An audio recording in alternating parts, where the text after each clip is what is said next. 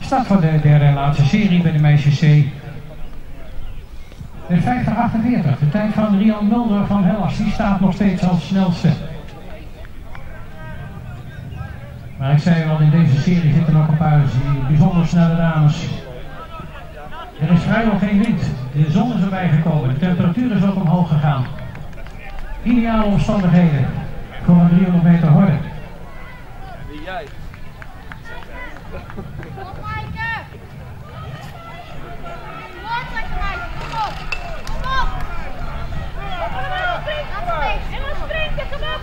Ze komt uit Den Haag, lid van Sparta, Maaike Chinalin. En zij komt als eerste over de finish in deze derde serie.